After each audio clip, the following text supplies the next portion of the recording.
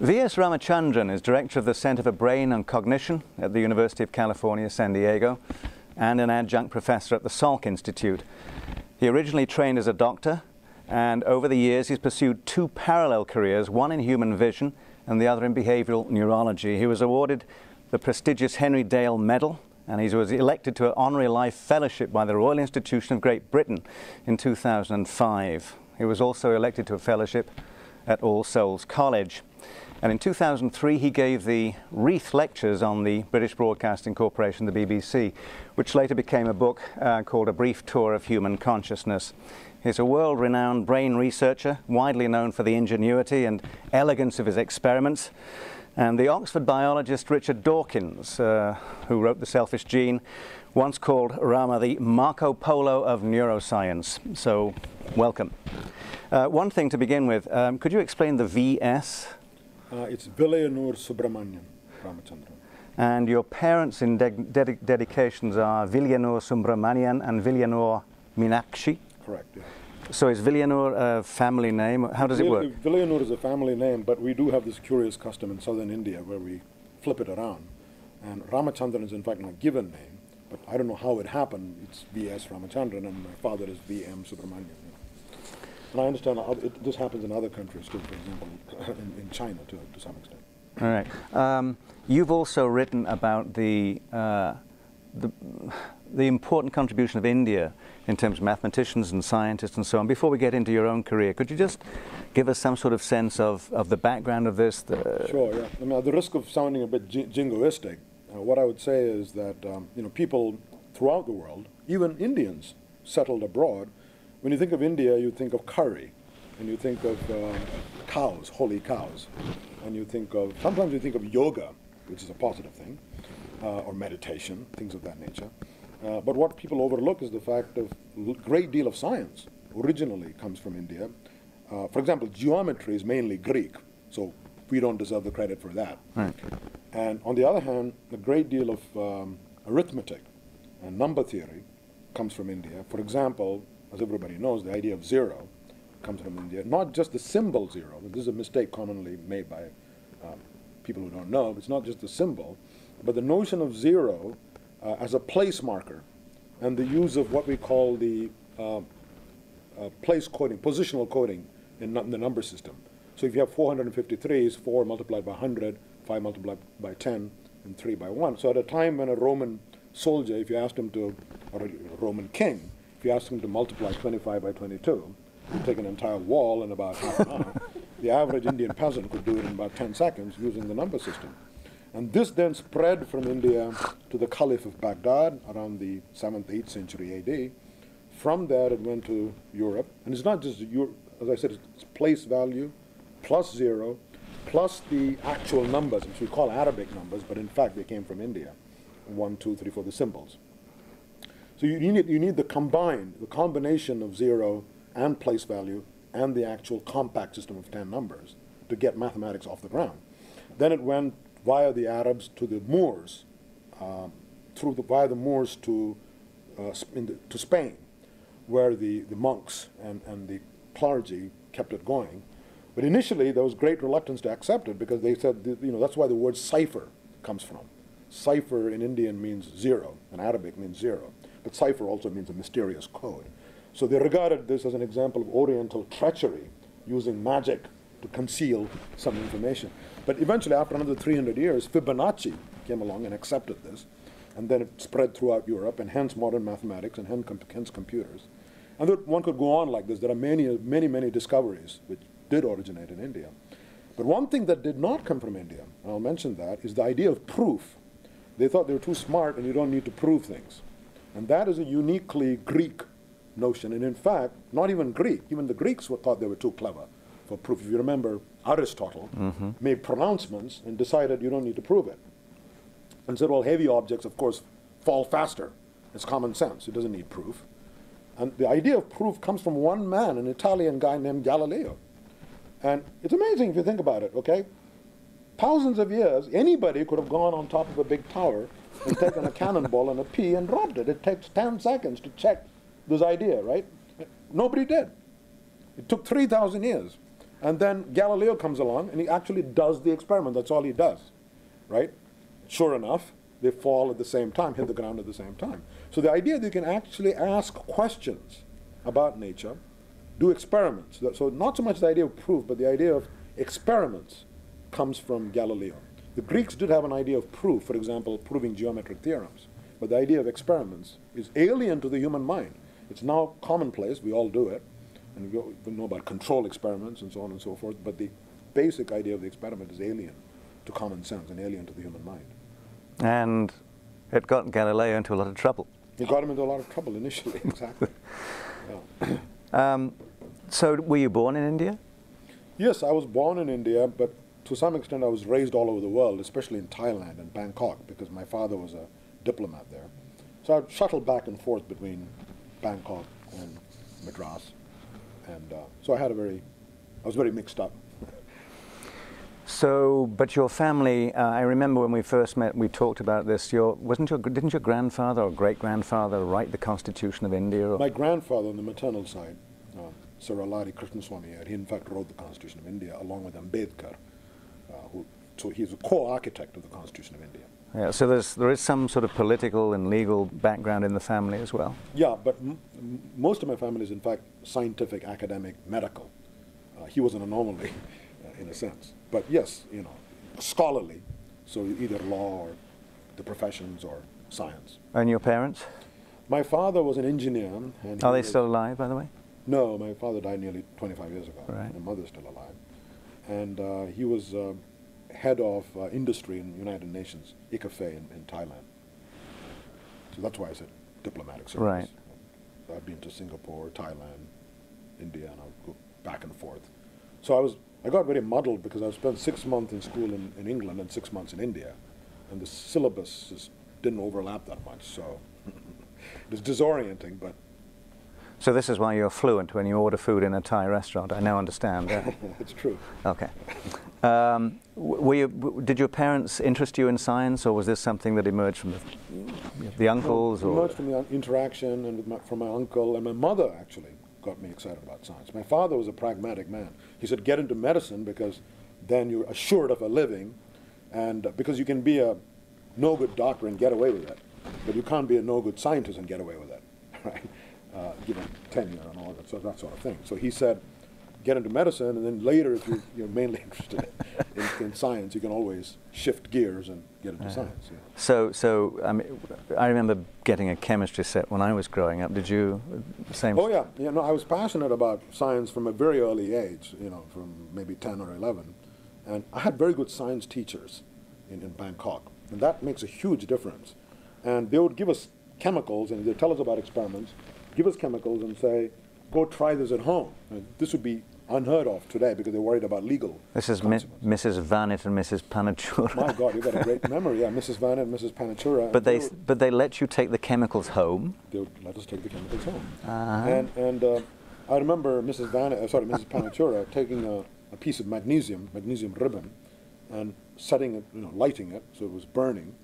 And then, of course, it was burning and it was getting oxidized. Uh -huh. But then she would dip it into water and it would continue burning in the water. Magic. Magic, you know. So the great thing is you start with magic, and then you tell people, no, it's not magic. There's a clear explanation for it. The magnesium is actually extracting the oxygen from the water. Mm -hmm. And I think that's what all of science is about. You know, this is equally true in my next phase when I got into visual illusions. Illusions are like magic. They violate common sense. How can this line seem longer than this line when I put a a, a, ruler, and I find, in fact, they're exactly the same length. Knowing this doesn't help, right? And there are dozens and dozens of visual illusions where you see these, and however much you know it's an illusion, it doesn't help. And illusions are anomalies. They violate common sense, but then you try to explain it. And the process of trying to explain it, and finally you say, aha, I've got the explanation. That's wonderful. You know, translating magic into science. And, and this is what I think most scientists do and certainly I do, whether it's um, playing with chemicals or doing experiments on visual illusions or doing experiments in neurology where there's something spooky. You know, a patient says, my arm is missing, but I still feel it's that. Or a patient says, my arm doesn't exist, doctor. Here's a person who's completely lucid and intelligent with, with a lesion in the right parietal says, this arm doesn't belong to me, it belongs to my grandmother. How can somebody who's perfectly lucid and intelligent assert that. So there is a thread going through all of this. That's what I'm trying to say. You know, from my childhood chemistry experiments all the way to neurology. When I first when I first met you, you were actually working in uh, the, the, things that we talked about at length in those days uh, was was your visual illusions, the vision system, visual system, and also the phantom limb work. Um, and I think the reputation you had then, although obviously there's now this enormous body of work so that people listen to what you've been saying and say, well, perhaps if Rama has done it, there's something intriguing going on there. There, there was, there was a, a, joke of saying, well, Rama has an N of one. In other words, you know, in, in science, uh, he has one example, number only of one, whereas most science is conducted by people who have vast databases and draw graphs and so on. Um, obviously, there's a there's a problem uh, in trying to convince credibility. people credibility. Well, the answer to that is if you have a track record, people believe you more. A, and B. I mean, the short answer is you start with an n of one, and then you have to confirm it, I'm doing lots of experiments. But I like to be, be the one who does the n of one, and then of course you need to uh, dot the i's, cross the t's, do more experiments. But let me give you a couple of analogies. Now, one of my favorite analogies is if I bring a pig into this room, for example, now, and I say, this pig can talk. And you said, really? What do you mean the pig can talk? And I wave my wand and the pig starts talking. What would be your reaction? You, wouldn't, you would say, my God. You wouldn't say, well, that's just an N of one. Show me another pig. Mm-hmm. Okay? And yet this used to be the reaction of, of many scientists. And forget about pigs. Look at the history of science. Even look at hard science like physics. We just talked about Galileo. Mm-hmm. His two most, most famous experiments were taking a pea and a cannonball and dropping them. That was an N of one, initially, okay? Right? The second experiment was when he looked through a telescope. People think that telescopes, Galileo invented the telescope. He didn't. It was used by children as a mm-hmm. toy. Mm-hmm. It was invented somewhere in, in Italy. And he's walking around the street fast and he saw, saw this thing, the cardboard tube with two lenses. And people were mainly using it to look at other people, to spy on other people. And he said, My God, why don't I get this and look at the heavens? And all he did was tilt it 45 degrees and look at the heavens instead of looking at people. I'm simplifying it. He, of course, polished the lenses and to eliminate chromatic aberration, spherical aberration, and all of that. But once he had done that, he looked at the Milky Way. My God, it's thousands and thousands of stars. And then he looks at Jupiter, and he says, My God, here's Jupiter, and there are three dots near that. What, what are they? And nobody's ever seen this before. Imperfections. Imperfections. And he said, No. in fact, then he kept looking. One of them disappeared. Both of them disappeared. And he said, My God, the dots have disappeared. Waited a little bit, and the dots reappeared. And he said, I know what it is. It's moons going around Jupiter. That's why they're being temporarily occluded. So he said, My God, if things can go around Jupiter, then maybe not everything goes around the Earth. So in that n of one, that one little observation, he dethroned the geocentric view of the universe and replaced it with the heliocentric theory. There's more to it. He looked at Venus and saw that it went through mm-hmm. phases like Trans- the moon. But the point is, these very simple observations, just using a cardboard tube, that's the birth of physics. Or Röntgen looking at X-rays. You know, he had a cathode ray tube, switches it on, has a X-ray film, actually not an X-ray film, a regular film, and he finds that the film is in the drawer, but it gets blackened. He said, My God, something must be going through. Then he puts his wife's hand there, wife's hand, not his own hand, and he finds that he, he sees the bones in the X-ray film. This is an N of one. He knew nobody would believe him. He put it in the newspapers because he didn't want to go through the refereeing system. He put it in the newspapers. Next day, his wife's hand, including the wedding ring, was all over the newspapers in Europe. The rest is history, got the Nobel Prize. And I can go on and on like that. In neurology, my own field, every major discovery, whether it's Broca's aphasia, Wernicke's aphasia, you know, the language disturbances that occur when language areas are damaged, neglect, when you neglect the entire left side of the visual field when the right hemisphere is damaged, anosognosia, denial of paralysis, blind sight, where a person is damaged to the visual cortex, is completely blind, yet can reach out, t- uh, touch objects in the region where he's blind and he can't see anything. All of these discoveries, commissurotomy, split brain patients, were based on an N of 1 or an N of 2 initially. And in fact, I'll go a step further. Not a single discovery has been made by saying, let's analyze all the data from hundreds of patients and see if there is a trend. I'm not saying that never happens. But there's a lesson here. Why is it 30 discoveries have been made with an N of 1 and not a single one by averaging? I'm overstating it a bit, but I think that's roughly true. So the short answer is you have to start somewhere, and then obviously you need to confirm it. And if you have a good track record, then people believe you. Why don't you go into a, a, little bit more detail about one of those things, how you convert an N of 1? For example, I, I remember turning up and seeing you with a patient whose name I think was Derek, if I'm thinking correctly, who'd had a motorcycle engine uh, accident. Uh, uh, he was missing an arm, but when you touched certain parts of his face with a Q-tip, yes, he had what he reported as being sensations in his hand and his yeah, arm. I mean, th that's a good example, and uh, we're interested in phantom limbs, and I've always been interested in that. I don't think anybody here who's not interested in phantom limbs. You know, I started when I was a medical student. I would see patients who are missing an arm and who would say, "I can still feel it," you know, reaching out to grab objects or waving goodbye or shaking your hand. I mean, the guy wasn't stupid or deluded. He knew there was no arm, right? It's not a hallucination, but he had a very compelling feeling that the arm was still there. And the question is, how do you go about studying this? This has been known for over 100 years. You know, it goes back to Silas Weir Mitchell, who coined the phrase phantom limb. So I had a patient sitting in my office, blindfolded him, and simply touched him. These were inspired in part by earlier experiments in animals, um, but it had never been done in a clinical context. So I had this patient, Derek, who was blindfolded. His entire left arm had been amputated above the elbow about 10 years earlier. So I took a Q-tip and you know touched different parts of his body and said, "What do you feel?" Remember, his left arm was amputated and he had a vivid left phantom arm. Well, he said, "Oh, you're touching my face on the right side. What about that? That's my forehead. What about that? That's my chest. What about that? that that's my belly and it tickles." Okay. So I kept touching him different parts of the body. Then I said, "What about that?" He said, "Oh my God, that feels like you're touching my phantom thumb, my missing phantom thumb. How about that? My phantom index finger. How about that? My phantom pinky." And I took a, you know, felt pen and drew the individual digits on his face, the thumb, the index finger, the pinky, and very clearly delineated regions. There's a complete remapping. Now, why does this happen? So I looked at the Penfield map, which simply means the entire left side of your body, the skin surface, is mapped onto the right side of the brain. There's a vertical strip called the postcentral gyrus behind the central furrow in the brain. Um, and then this vertical strip has a complete map of the entire left side of the body in your right hemisphere. And the map, by map, I mean every point on the skin surface has a corresponding point on the surface of the brain. And the map is systematic. In fact, it's like a person draped on the surface of the cortex. You may have seen pictures of this. Now, the amazing thing is it is a continuous map, which is what you mean by a map, this topography, but some parts are dislocated. So the hand region of the map is actually right next to the face region and it's not clear why. In other words, the head, instead of being near the neck, where it should be, is dislocated and it's below the head.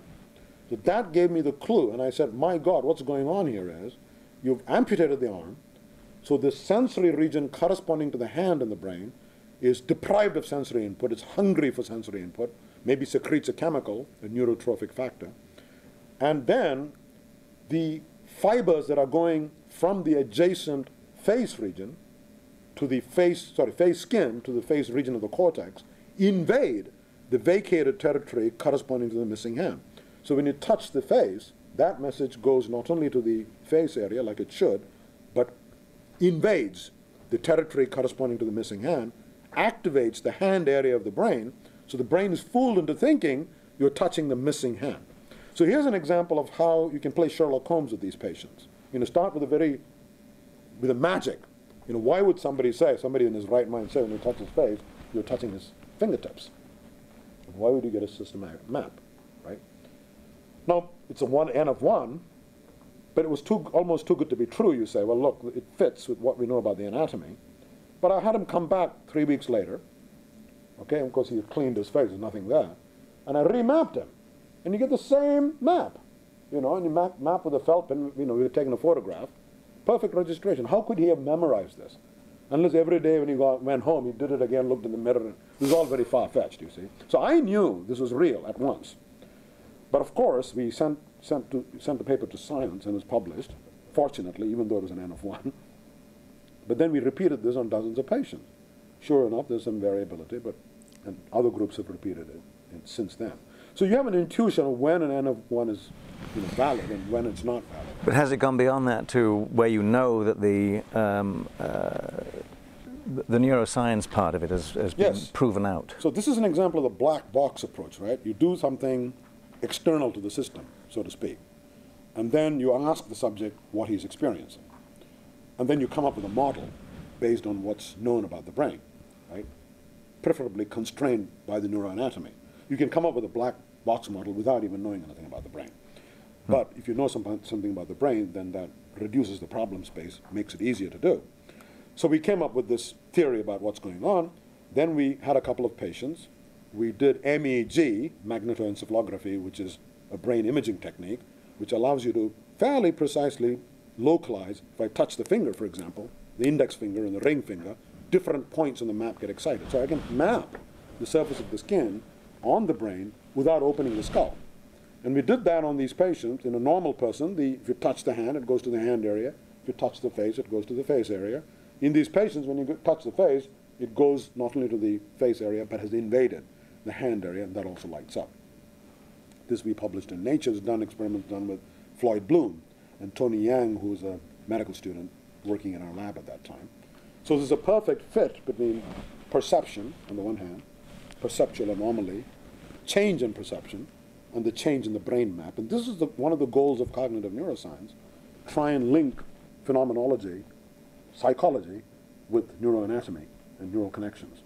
And uh, one important thing it showed was, at that time, nearly 15 years ago now, the dogma was that connections, this is one what I was raised with as a medical student, and generations of students and psychology undergraduates are raised with this Penfield map, and it's assumed this is laid down at birth, and all connections in the brain are laid down in the fetus or in early infancy, and you can't change these connections in the adult brain, by and large.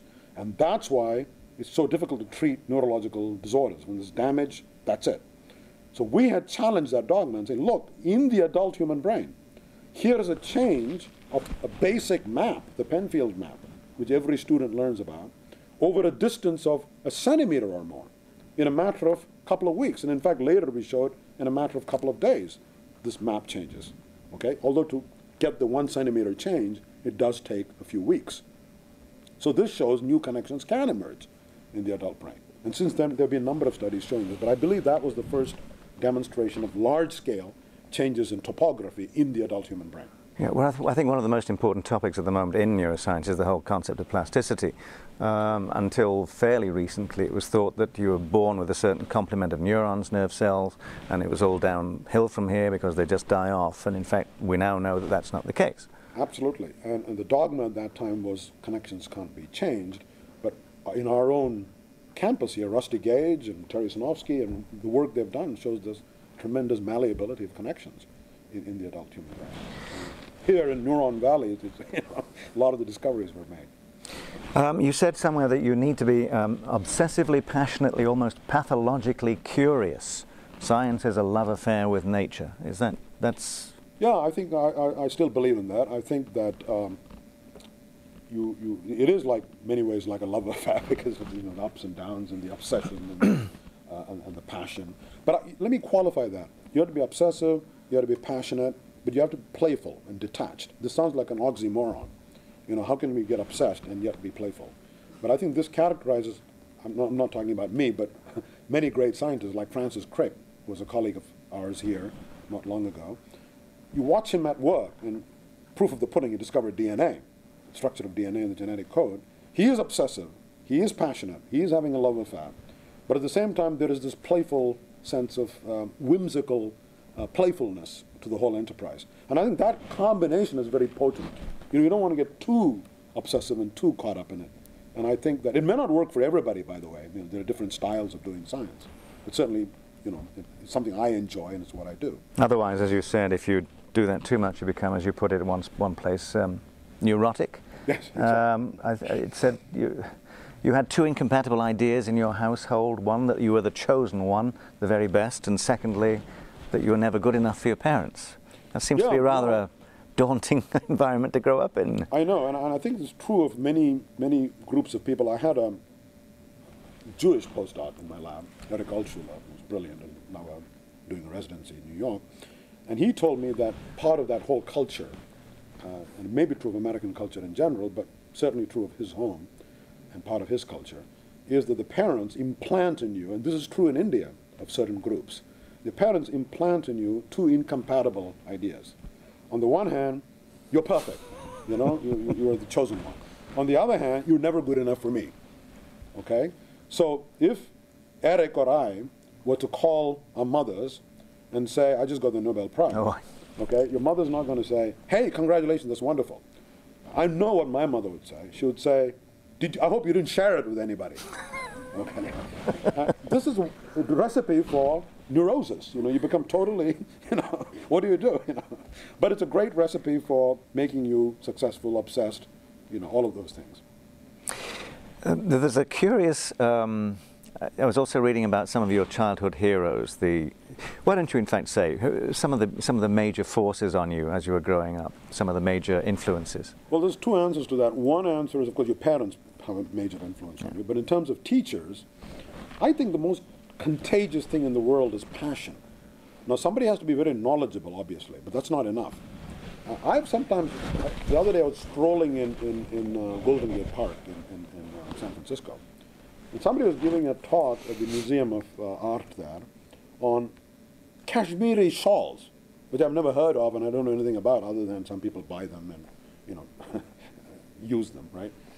So I said, why would I want to go to a talk on Kashmiri shawls? And I go there and I was absolutely riveted. There's a chap who collects Kashmiri shawls and he was talking about it. And, and I said, I'm going to leave in 10 minutes. And I couldn't help sitting there for an hour and a half to, listening to this chap. He was so passionate about it, gave us the whole history of it, how the British came and employed child labor and all sorts of things. And the beauty and elegance, the connoisseurship of Kashmiri shawls. And I went home, went to India, and I said, I have to buy a few of these. I think that passion is contagious, and I wish more of our school teachers would be like that. And um, reminds me of Dead Poet Society. You know, classic example would be Robin Williams, the role played by Robin Williams in that movie. And so I had very good, the good. I was very fortunate in having teachers who were very passionate. But in terms of scientific heroes, I was always interested in the history of science, and that's another thing missing from our curricula.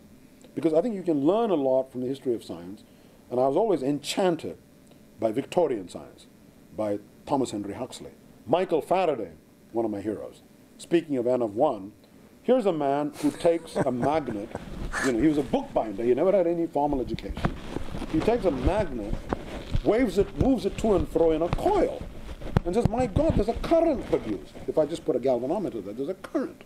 And he links two areas of science which until then had been completely separate. You know, magnetism on one hand, electricity on the other hand. And it was the birth of electromagnetic induction, which is the basis of all motors we use today, practical importance, but also theoretically, it paved the way for Maxwell's field equations. People forget that. So you have the N of one experiment, that in turn sets the stage for the theoretical views of Maxwell. So he's always been one of my heroes because he takes very, does very simple experiments. Or take another one, right? People are talking about magnetic fields. And everybody said, well, how do you know there are such fields? You know, maybe like ether, maybe it doesn't exist. So he takes a, a bar magnet, puts it behind a sheet of paper. He sprinkles iron filings on it. I mean, can you think of anything more simple than that? Lo and behold, you see the fields. It's not some concept. Immediately you see these fields, right? Nobody can argue with that. See, the end of one. and for the first time, anybody had experimentally, of course, I'm simplifying it here, but it's an experimental demonstration of the, of the magnetic field. Two points there. Uh, one, um, there was a time, I mean, Faraday, you remember, it was a demonstrator at the Royal Institution, of which you just became a lifetime fellow, um, with Humphrey Davy, and demonstrated, they performed the Christmas lectures for children, which still go on to this day. So there was a tradition um, in the Victorian times of actually communicating science because it was important to do that. I think to some extent that I'd uh, be interested to know from you whether you think that's been lost. And secondly, the history of science, knowing the, the, the background of a subject and so on, perhaps that's difficult, what do you think, when if you're looking at last year's textbook, you're out of date. I mean, it's a very tricky to keep up with the whole business of science. Well, it's all the more important that you have to look at the history of science to keep your sense of perspective. and uh, yes, last year's textbook is out of date. You have to go to conferences, you have to attend meetings, you have to go to the posters. Often you learn a great deal, but I find myself learning much more from talking to people rather than actually going to the posters. You pardon my saying so, you go to the Society for Neuroscience, there are 20,000 posters. First of all, you can't take all of it in. Mm. Secondly, you know, you get this weird feeling that people have taken all the abstracts from the previous year and taken all the keywords and then jumbled them up in, with a random, you know, in a computer, and then you get all of this year's abstracts. And this takes a lot of the joy and romance out of science. So I often tell students, go there, but mainly talk to people. Go look at all the posters, but then see what direction people are headed, and then go the opposite direction. You know, that's the, I mean, I'm overstating it, but not a bad strategy. An automatic abstract generator. Uh, Yeah, exactly. Yeah, right. Now, the other thing is that, speaking of um, popularizing science, in Victorian times, as you said, there's a great tradition of this. All the most eminent scientists, Faraday was a great lecturer. Humphry Davy was an even more outstanding lecturer. And he discovered about seven or eight of the known elements at the Royal Institution. By the way, I just learned that the test tube was invented at the Royal Institution, which is interesting factoid. For what?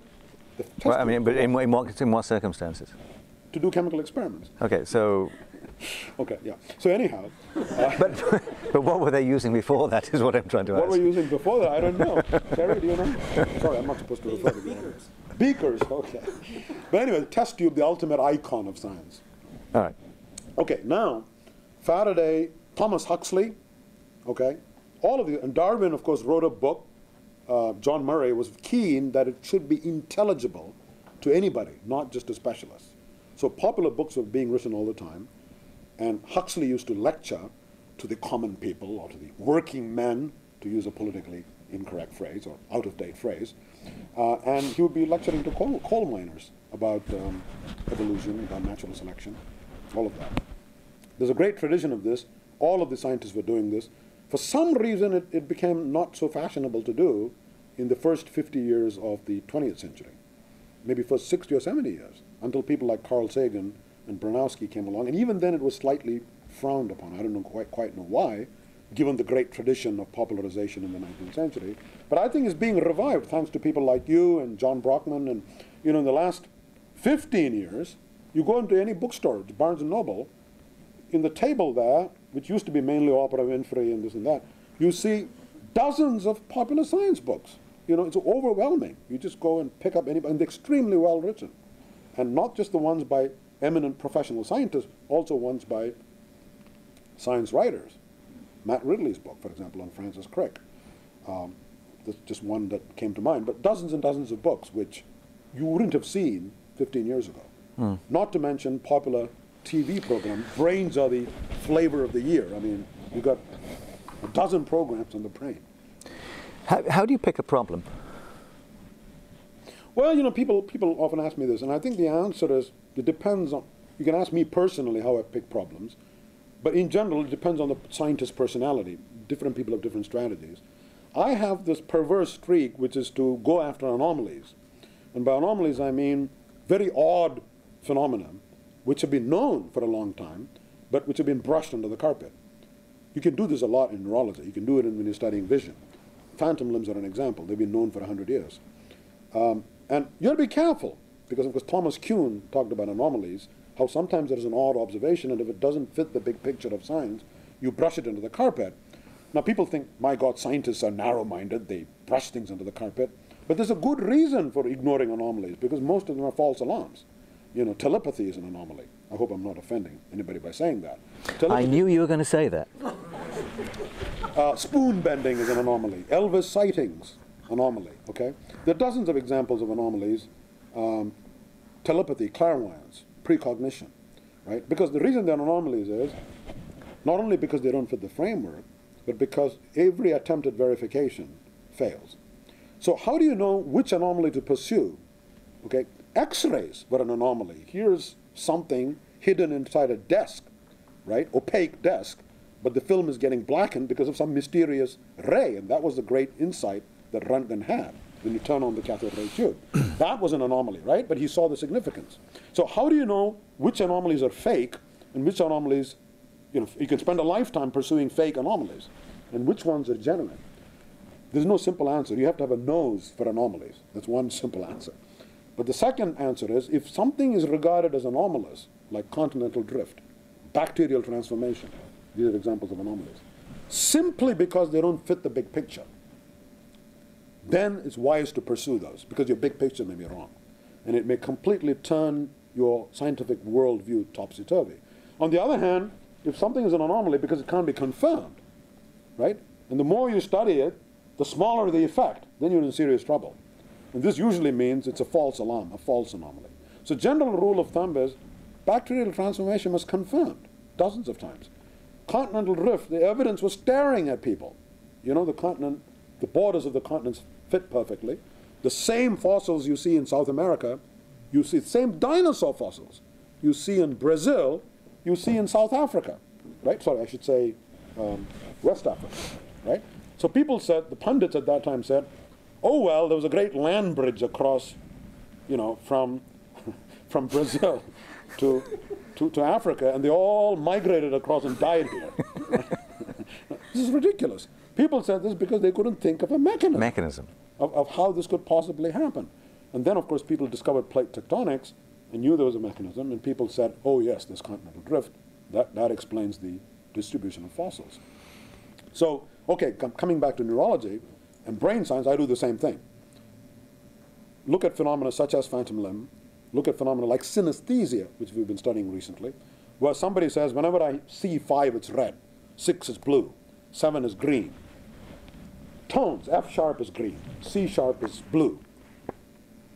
You get your senses muddled up. You have a chapter here called Purple Numbers and Sharp Cheese. Do you want to elaborate on that? Okay, so here's an example which is known since the time of Galton, uh, Darwin's cousin. And he pointed out that certain people see five as red and six as blue and seven as green.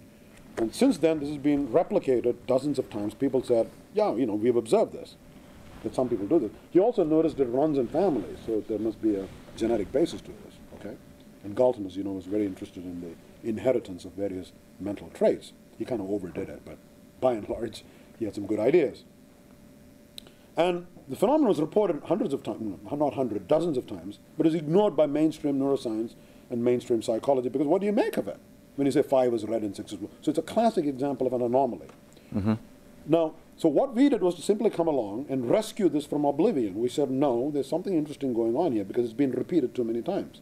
First of all, we found it was common. It's not one in thousand, one in ten thousand, like people claimed. It's one in two hundred people. So we found two students and undergraduates at UCSD who saw five as green and seven as blue and two as yellow and so on and so forth. So the question is, how do you know they're not making it up? Maybe it's like spoon bending, maybe it's like telepathy. So we did a simple clinical experiment which showed that these people were really seeing two as red and five as green, literally seeing it. Now, how do you show that? Well, you have a computerized display with lots of fives on it, and all the fives are green, and you have one two on it. And of course, the two is red for these people. For you and me, you see a bunch of black squiggles because they're all black and white. And if I say find the two embedded among the fives, two, there's no two here, two. Oh, yes, there's a two. And you take 15, 20 seconds, mm -hmm. 30, 40 seconds.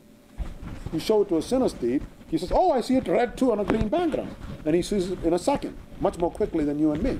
So if he's crazy, how come he's much better at it than all of us?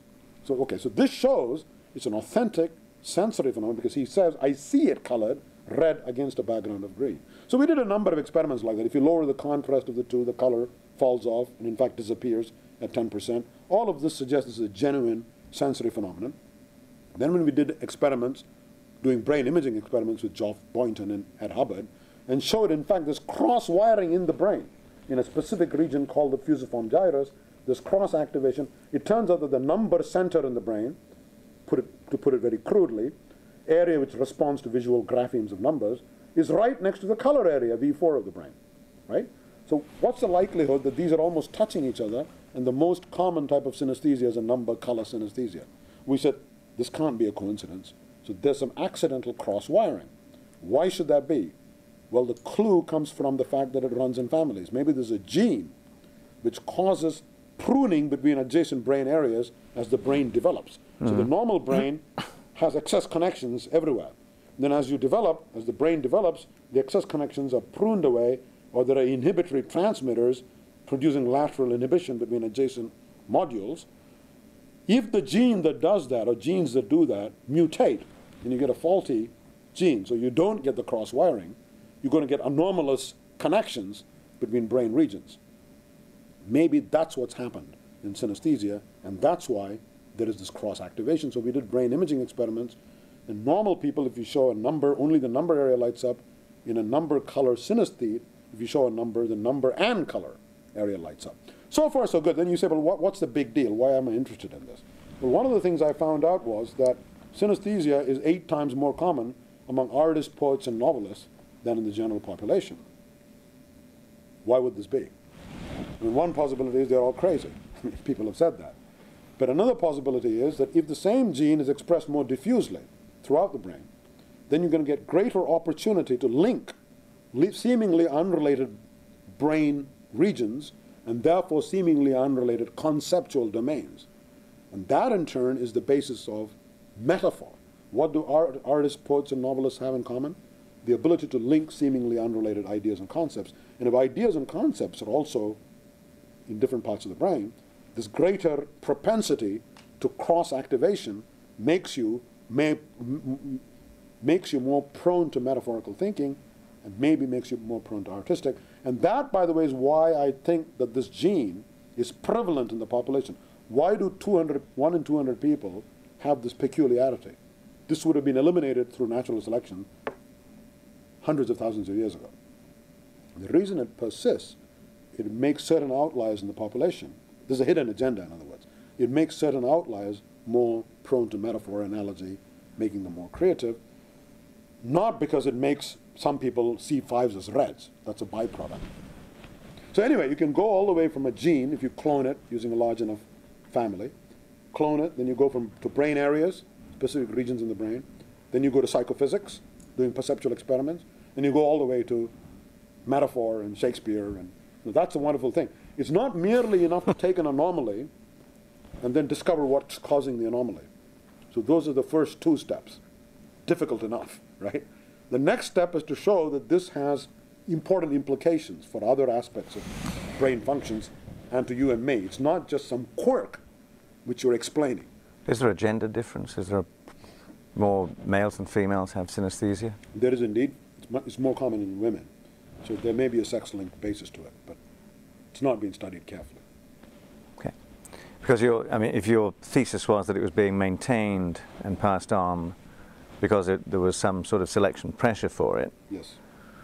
Uh, then presumably the theory is that poets and painters and those of an artistic bent are more attractive to mates and therefore leave more offspring. well, that has been suggested, of course, by people like Miller. Uh, that is the, the come and see my etchings theory yes. Of, artistic talent. And I, I, just don't believe that. I mean, I think the problem with Ev Psych, by the way, and I've said this before in print. by which you mean? By which I mean evolutionary psychology, by which I mean you take every conceivable trait, physical or mental, propensity, and you say, why did this evolve? It must have something to do with the way our ancestors were walking around the savannah and, and all the selection pressures. Now, of course, it's partly true that some of our mental traits are because of that, but some of it has this banal ring to it. You say, you know, men like young women because they're more fertile okay, maybe, you know. Uh, but A, it involves the cultural dimensions of the mind, and I think what's unique about the human brain, especially, is we are the cultured primate. And I'm not saying this to be politically correct, I have absolutely no interest in politics. But what I'm saying is, what's unique about the human brain is the fact that we have systems of neurons, including the mirror neurons, which enable us to assimilate culture and knowledge through imitation, through emulation, through learning, much more rapidly than any other brain of any other animal. And this is what makes us uniquely human. Okay? So that's one problem with evolutionary psychology. The other more serious problem, I think, is you can come up with any ad hoc theory you want, you want, and it becomes very difficult to test. So, for example, I could say, people say, well, because we were on the savannah, we, we like this. We like young women, you know, men. And dozens of examples, maybe you can think of some.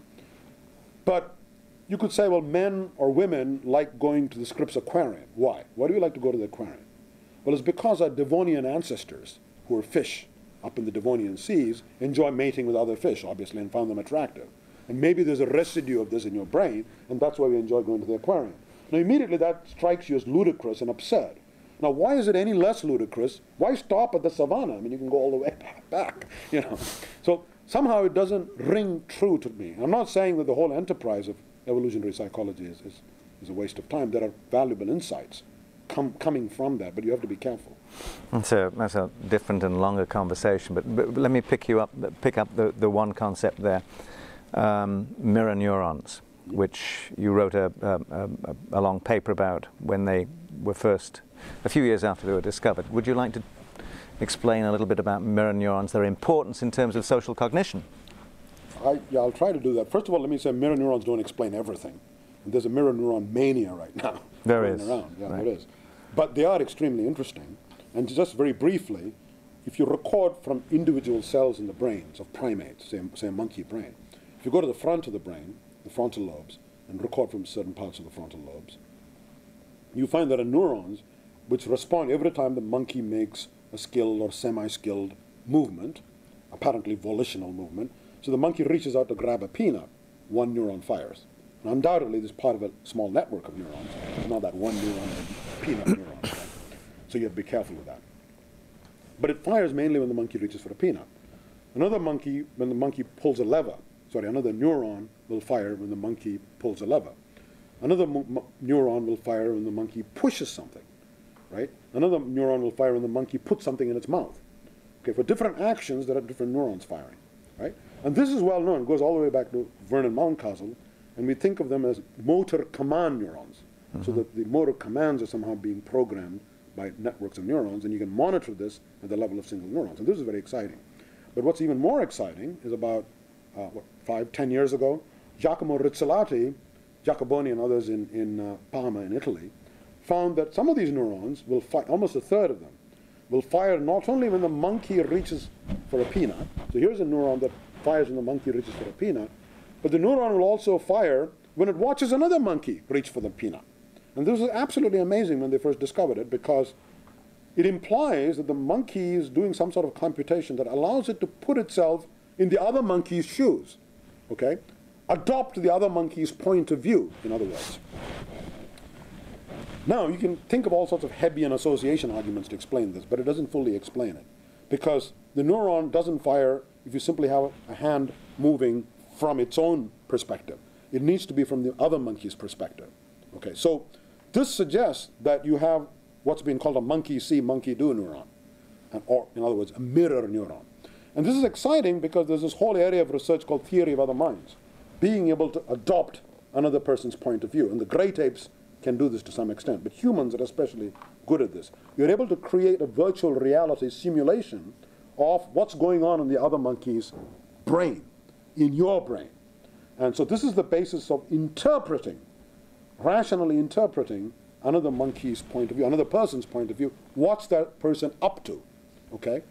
Also, it may be important imitation. So if somebody does something, this is the point I made in my article, then you have to imitate it, not some sort of blind mirroring of that, but adopt that person's point of view in imitating that action. And this, of course, is the basis, believe it or not, of culture, the dawn of culture, because if you're a polar bear, you have to spend hundreds of thousands of years evolving a fur coat through natural selection. If you're up, if you suddenly migrate to the North Pole or something, you're a regular bear and you go to the North Pole and you want to develop a fur coat. If you're a human and you watch your mother hunt down and skin a polar bear, it's one trial learning. And I think that's based on mirror neurons. You watch her do this. It's not just mirror neurons, but in conjunction with other parts of the brain and you do this, and then you learn it, and you put on, you say, I can just kill a polar bear and put the fur coat on and skip thousands of generations. And whether it's hunting or making a, a knife or make, you know, making fire, one of a kind innovation spread horizontally through culture and vertically, almost through Lamarckian, of course it's not really Lamarckian, but, but inherited through culture very, very rapidly. And this marks the dawn of culture which in turn feeds back on brain evolution. So you have this culture brain coevolution and a rapid explosive development of culture.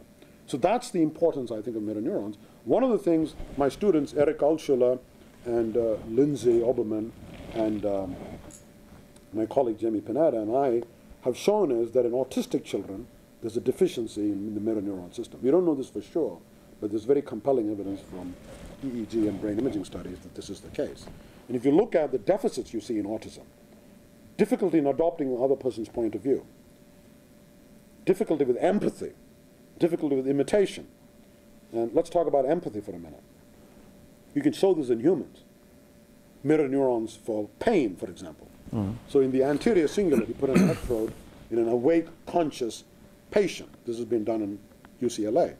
You put an electrode in the anterior cingulate, you record from neurons there. Those neurons will fire when you poke the patient with a needle. And this has been known for a while, and they're called pain neurons. People thought there was a hotline from the pain, skin pain receptors to a pain center in the brain. We now know there are many layers to experiencing pain, going to the insular cortex, parts of the limbic system, eventually going to the anterior cingulate. Now that's all known, pain neurons, okay? Now the amazing thing is what they found was when the person watches another person being poked with a needle, the pain neuron fires almost equally, equally, vivid, uh, equally strongly. Now, now I don't know if it's true of all the neurons, but certainly a subset of neurons do this. Now this is absolutely amazing if you think about it, because this neuron is an empathy neuron, right? So empathy is no longer some abstract, metaphorical, social phenomenon. You're seeing it at the level of neural circuitry in the anterior cingulate, monitoring it at the level of single neurons, and you're finding an empathy neuron. It's dissolving the barrier between you and another human being, right? So I like to call it a Dalai Lama neuron, right? Because it's the basis of all Eastern mysticism that this illusion that you are a separate person inspecting the world and other people are different, I should be selfish, da da da da, is all an illusion. Dissolve this barrier and the world will be a better place. So I'm arguing this is not just philosophy, not just metaphor. Your neurons are dissolving the barrier, already dissolving it for you. you know. There's two or three points I want to pick up there. Um, first of all, the whole notion of being able to walk a mile in someone else's neurons, this whole notion of empathy, um, is, that a, is that a requirement for consciousness? That's getting into a big area, consciousness. And The reason, the reason I ask that is that you have said before in conversations that, um, that you thought that there was a distinct cutoff between other animals and humans, that humans were unique in that uh, humans had what, what, what we would call qualia, which is the sensation of experiencing these things. Well, I, actually, you- I'm alone in thinking that. Right. Much. I know maybe there are some other colleagues. You're an N of one. Probably of Right. Um, the idea, general question, there are several questions when you say, what is consciousness, right? To, a, to an anesthesiologist or a neurologist, he's talking about coma versus consciousness. There's a scale. And I think that's just the power supply. It's coming from the brainstem and different levels of ar- arousal and, and being conscious or not conscious. And not, that's not going to get you anywhere looking at those systems and understanding consciousness. In understanding the logic of consciousness, which is what we want to understand. It's like saying you need the Krebs cycle for genetics. Obviously you do, but that's not the key to understanding genetics. It's the double helical um, structure of the DNA molecule. So let's forget about that, okay? Now, what are the other questions concerning consciousness? There are two important questions related. One is what we call qualia. Christoph Koch and Francis Crick have championed this view, and uh, philosophers refer to this as qualia. It just means sensations you're conscious of. So I poke you with a needle. It's not just that you say "ow," okay? There is also an internal subjective experience of consciously being conscious of pain. If I poke somebody else with a needle, I can describe all the pathways, everything that's active, the cascade of chemicals, neural activity coming to the Broca's area, and you say, ow, right? But I don't experience anything. And you don't, there's no reason for you to postulate that that person is internally experiencing a mental phenomenon called qualia. But wouldn't Skinner you, would say that. wouldn't you, on given what you just said about mirror neurons, Yeah, I'm getting there. I'm getting there. All right. So what I would argue is when I poke you with a needle, that's a very important question. When I when I poke myself with a needle, if I look at myself with an autocerebroscope, 500 years from now, and I plot the diagram and I say all of these things are going on, but my God, it leaves something out, namely the internal subjective experience, right? Or if you're a Martian looking at my brain, and let's say you don't have any qualia. Or forget about Martian. Let's say you're Roger Bingham, and you're born colorblind, and you don't have any color qualia, okay? But you're intelligent, and you learn physics, you know different wavelengths, and you know other creatures like me, like Rama, other human beings, do have the pigments in the eye, and do have color neurons firing away, and you show me this diagram and say, look, Rama, I know everything about color vision. All of the pathways are firing away. And I said, Roger, but you're missing something. And that's the crucial subjective experience of green when my green neurons fire, but not red. Subjective experience of red when my red neurons fire, which is ineffable. I cannot communicate it with you. Communicate this feeling to you. So that's a qualia problem. The separate problem, which many people have thought of as a separate problem, and I don't think it is, and that is the problem of self. The person who experiences qualia. I can reflect on my qualia. You know, I can say, not only do I experience qualia, but I know that I experience qualia, and I know that I experience qualia. So there's a subjective experience of myself experiencing qualia. There is this peculiar solipsistic quality to it. And Crick and Koch have argued, first let's solve the qualia problem, and let's get to the self problem later. And I'm saying that's impossible with all due respect to Francis and Koch, who have made enormous strides in getting people excited about this. I'm, not, I'm saying there is no earlier stage called qualia and subsequent stage self-inspecting the qualia. There's no such thing. The reason is very simple. There's no such thing as free-floating qualia. It's an oxymoron without a self experiencing it. Mm. Likewise, a self without qualia, without any sensations, memories, subjective sensations, is meaningless. So I claim that these two co-evolved in evolution and it's intimately linked to language in the, in the Wernicke's area. So let me be more specific. For qualia to have any meaning at all, there has to be meaning. There has to be, so for example, when um, a fruit fly sticks out its proboscis looking at a red apple, okay, so let's assume it has color vision, it probably doesn't, but let's assume it looks at the red apple, it's almost a reflex of it. Obviously, it's creating a representation of the apple. It has to because it's neural signals. It's not copying the apple. But then, after the representation comes the tongue or the proboscis flicking at the apple. Okay? And then it consumes parts of the apple. This is a caricature, actually, because they probably do it through smell. But let's assume, for the sake of argument, the visual impulse goes in and they stick out the proboscis. I claim it has no qualia. Okay? And there's no point in saying it has a raw awareness of the sensation of red or apple. It doesn't. For you, on the other hand, the apple evokes tempting Eve, baking an apple pie, keeping the doctor away, eating. It's got a thousands, in fact, virtually infinite. Or if you're Newton, hey, it's falling, makes you think of gravity. Maybe that's what holds the solar system in place. Mm-hmm. So the implications are potentially infinite. And this is uniquely human. And this occurs, and I think it's a set of circuits in the brain. Another point I would disagree with is the notion that there are neurons, qualia neurons, or conscious neurons. Crick says this playfully, just to be provocative. But some people take it seriously. I don't think there's any such thing. I think that when you're doing reductionism, there's the appropriate level of reductionism and the inappropriate level. So, for example, when Crick talked about the reductionist basis of genetics and heredity, Watson and Crick talked about this, the correct level was, it turned out, they were lucky, was the DNA molecule, the double helical structure, and the genetic code. If they have studied quantum mechanics, and tried to discover the genetic code at the level of quantum mechanics, they would have failed. So similarly, to understand consciousness and qualia, I don't think you're going to understand it at the level of single neurons. You're going to understand it at the level of circuitry in the brain. But I don't think there's the entire brain. That's important. It's not the activity of the entire brain. It's specific, fairly circumscribed structures. Okay, and what are those structures? So that allows you to home in on the problem. And I think you need to understand the problem of self and the problem of qualia and they're two sides of a Mobius strip, you, or a coin. You cannot understand one without simultaneously understanding other. And this is where people have been led astray, thinking the self is some complicated other problem. Let's, let's solve qualia first, eventually we'll get to the problem of self. And I think you need to solve them, tackle them simultaneously, and need to map it on, map on the functional logic of consciousness, self, qualia, meaning, right? What do you, how do neurons instantiate meaning? That's the holy, holy grail of neuroscience.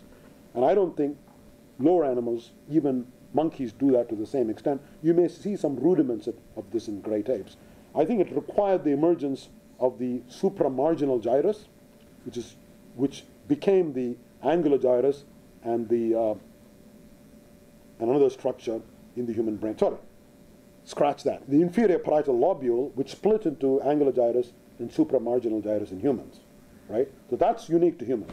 And an enormous angular gyrus, which is also unique to humans, Wernicke's area, which is unique to humans, and certain other structures acting conjointly to generate your sense of self, okay, especially the right hemisphere being involved in body image, sense of a self being anchored in your body, the sense of planning for the future, involving partly the anterior cingulate and the frontal lobe, and the self being able to inspect the sensory information that's coming in. Now, this, this is dangerous territory because when you say inspect, it makes you think of the homunculus fallacy. There's mm-hmm. a little person watching. That's not what I'm saying. I'm saying at some stage in evolution, instead of just sensory representation, you started creating what are called meta representation, a representation of the representation, unlike the fruit fly, which allows you to manipulate symbols internally in your head. And this is intimately linked to things like meaning.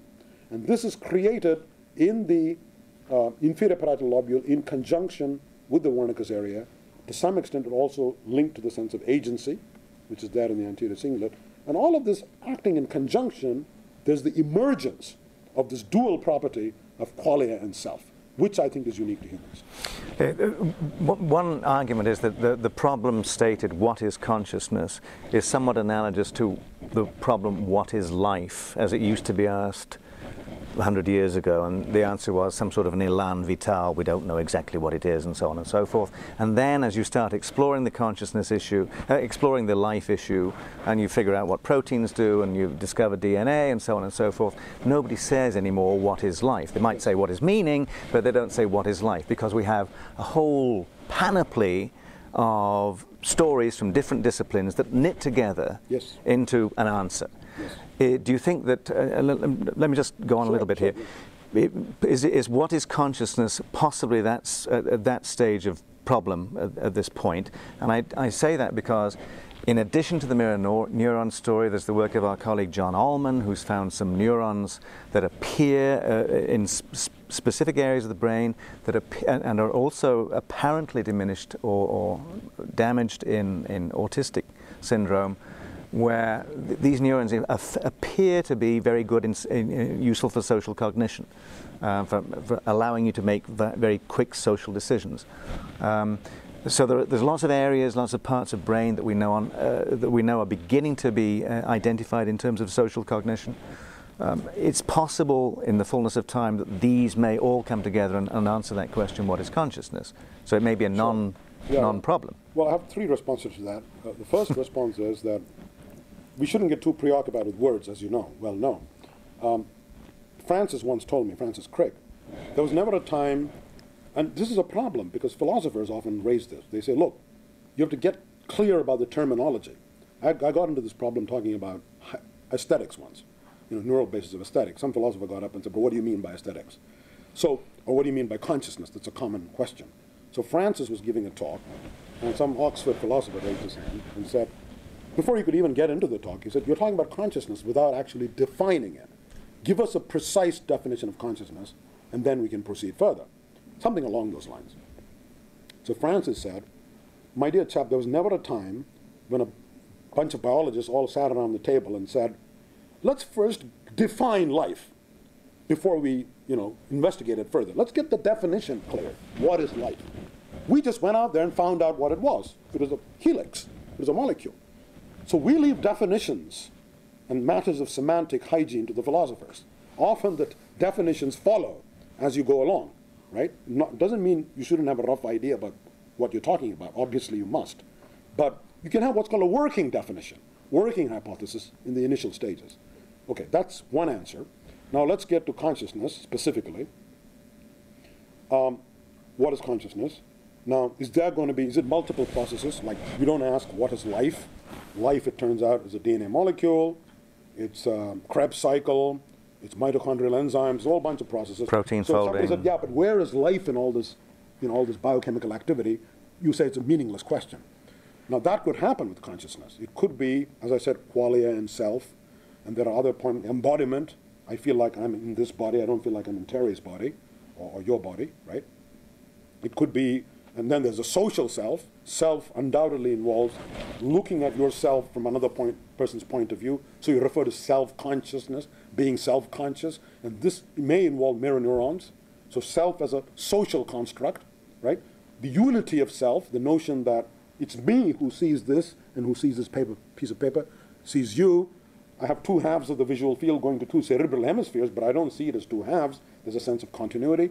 So there's a sense of unity of self, continuity of time, a sense of a golden thread going through the whole fabric of your experience, going all the way back to early childhood. So all these different aspects of self you might be able to tackle quite separately. For example, the thread may be mostly frontal, right? And other aspects of self may be somewhere else. Body image may be right inferior parietal lobule. So, you know, there are different aspects of self. So just like we don't say what is life. In fact, I like Jim, Jim Watson's quip. He says uh, there are only molecules. Everything else is sociology going too far, but okay. But at least as far as life is concerned, biochemistry is concerned, we don't say what is life. We've got all these different processes. Likewise, for consciousness, it may, it may be that there are different processes, and eventually you won't ask what is consciousness. The problem will just recede to the background. But the other possibility is there is one grand climactic solution, such as DNA. We just haven't found it. So one has to be agnostic. You know, one has to say, let's look for potential important solutions to this problem of consciousness, not just assume it's bits and pieces and we'll solve each of these separately. And my answer, potential answer is look here.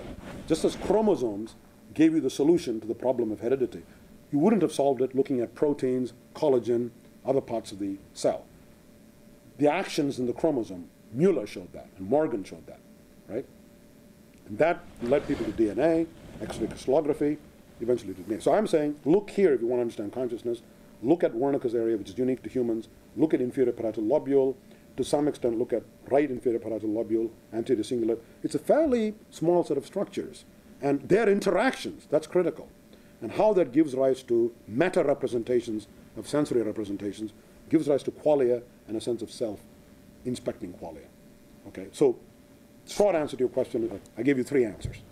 So the function of a self would be?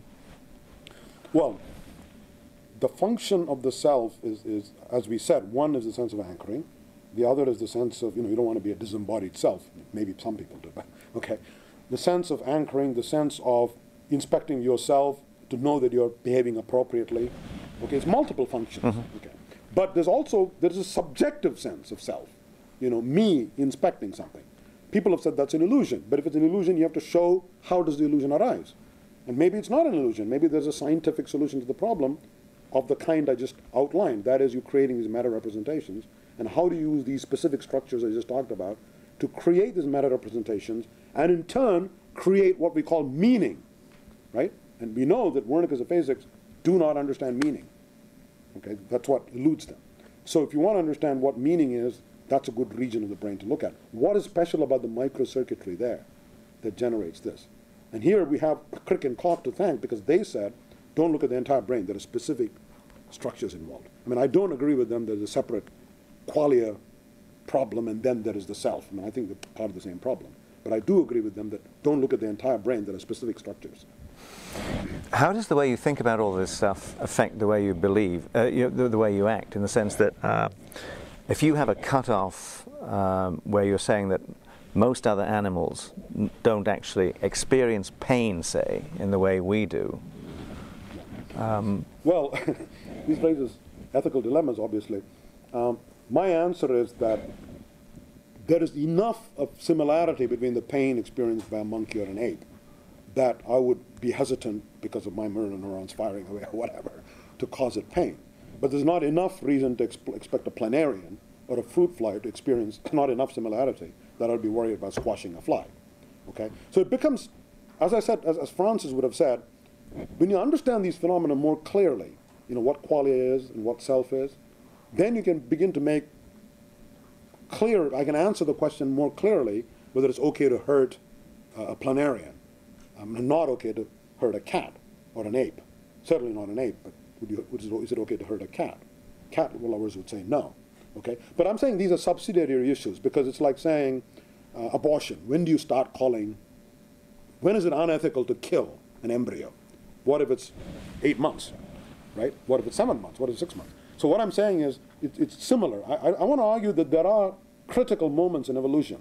And I think something unique did happen, maybe 150, 200,000 years ago, to the brains of our ape-like ancestors, to make you more conscious of your qualia, to contemplate and introspect on your qualia, on your pain to an extent that is not possible in, in, even in a monkey. Now, whether that justifies ethically terminating a monkey's life or causing it pain, you can't answer this question now because it may have some rudimentary semblance to the kind of pain you experience that you don't want to do that. You don't want to cause it pain. Or it may not, right? For now, it's best to assume that it can. so if a dog yelps, you think that's just a reflex? But look, I mean, humans can yelp without feeling qualia. I mean, to put it very crudely, if I cut your anterior cingulate, right, and then I poke you with a needle, I don't think it's actually known if a yelp, but they certainly withdraw their hand.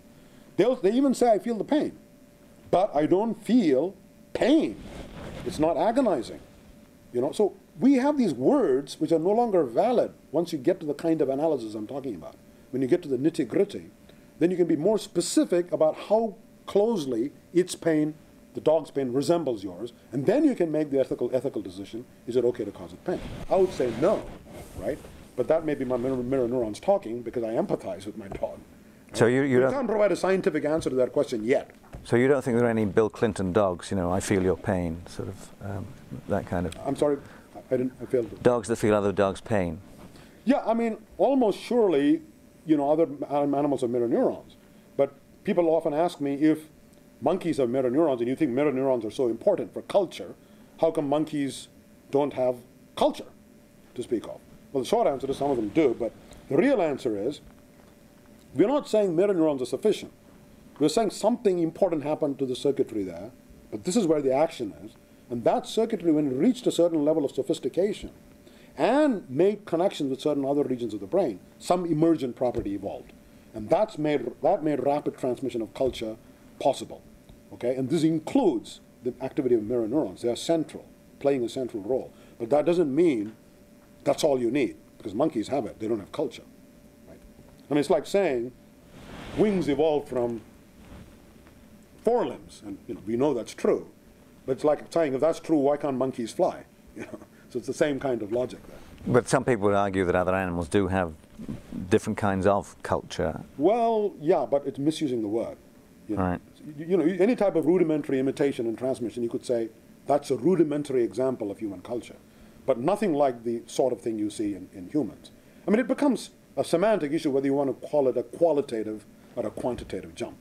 And I think that genuinely emergent properties uh, exist in the human brain, which don't exist in rudimentary forms in the monkeys. In great apes, you might find some components of this emergent. So obviously, I, I strongly believe in evolution through, the, through natural selection. I don't believe in intelligent design. It is odd that our president is championing the cause of intelligent design given this, that his own existence is a living negation of this idea. throw that in. So um, let's go back to your. Uh, uh, now we've dealt with a couple of those issues. Where, given that you described yourself as, as this child growing up with as being a little bit socially isolated, and so on and so forth, how what happened to end up with this sort of curious combination of um, scientific medical detective, which must mean you have a reasonable bedside manner so that you can elicit trust from these various patients, uh, and the showman. I mean, how, how do we get this combination? Well, the social awkwardness as a child, I think, was actually helpful because what happens is it makes you withdraw into your private playground of ideas. And I would read lots of books about scientists and biologists. I, I was obsessive about collecting seashells and fossils and doing experiments at home. And you know, I, I used to collect seashells on the, on, on, the shore and dazzled by the amazing variety, as I'm sure every adult is even to this day. And then I said, well, who, what are these and why is this amazing variety? But then they fall into groups and you begin to classify them. Then I went to the Madras Library where we have this enormous eight volume tome about each book folio, each book this big. And they're all hand colored engravings of seashells going back to the grand old Victorian times, where one scientist spent a lifetime studying, classifying, and making pictures of seashells. And I would go through this and identify all of these seashells. So that's, you know, often taxonomy and classification is the dawn of science. At that time, they didn't even know about Darwin when they were doing this. But they saw beautiful patterns of, of, of taxonomy. And so, uh, you know, you, you sort of feel, and then you go and read some other book from 1850 and 1890, and the library is full of these books, and I felt these were my playmates. Suddenly they, they came alive in my mind. So, so, you know, Reeve, whose book I'm talking about, was my playmate. I was having conversations with him. Uh, Faraday was my playmate. Darwin was my playmate. Huxley was my playmate. So it makes you feel like not, no longer feel socially awkward and, and bizarre or crazy or clumsy. It makes you feel uh, that you have your own private world and, and you exchange ideas with these people. I know this sounds well, no, but delusional, so, but you know. no, just wondering when, when did you Well, upgrade? so when did you, when did you upgrade from imaginary friends to real friends? I suppose as well. Well, that was sort of early childhood, but I think once I started going to medical school and interacting with people, then, then, then you know, some people say I'm still socially awkward, but maybe not. Uh, th- then I then I started interacting with people. I think that shyness went away, and I, you know, I don't know about giving lectures, and I think that that's trick you learn watching other people to some extent, and and maybe there's components of it that's really part of your innate personality. But um, going back to, sorry, there's another question embedded there which I'm missing. So, sorry, you're talking about moving from social awkwardness. well, there was the, the bedside manner and the showman. How did Yeah, how did how did those emerge I mean, you know, if, if you look at again going back to the 19th century, if you look at all these people, whether Huxley or Hmm. Faraday and all these people, if you'll pardon the sort of lofty comparison, but if you go to these people, they were doing nitty-gritty experiments most of the time, but when called upon to do so, I think the most important thing about being a communicator, again, it harks back to what I said about being passionate and excited. Somebody's talking about Kashmiri shawls. How did it excite my interest?